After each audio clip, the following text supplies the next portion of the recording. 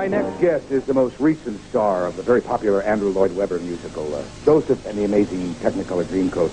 Although he's barely in his 30s, he's already a veteran of two highly successful television series, over uh, 300 concerts, and 18 gold records.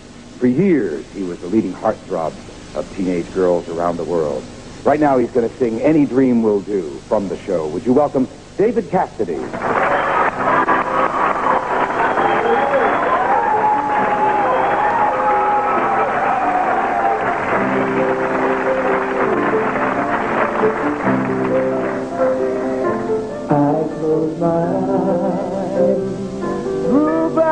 I